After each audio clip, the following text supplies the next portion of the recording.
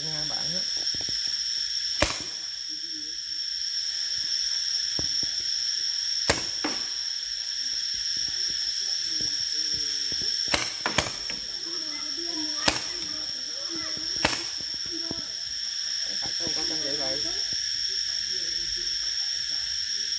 Phải không này cái màu trắng màu đen á.